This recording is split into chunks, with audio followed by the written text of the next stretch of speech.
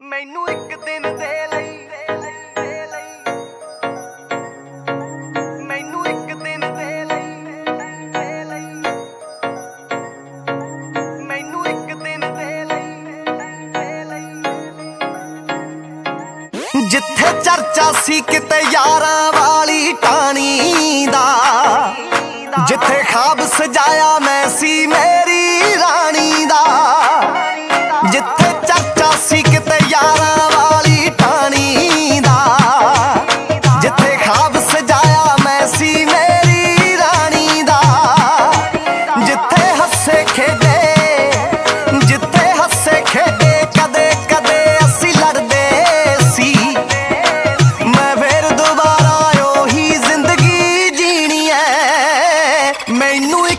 dele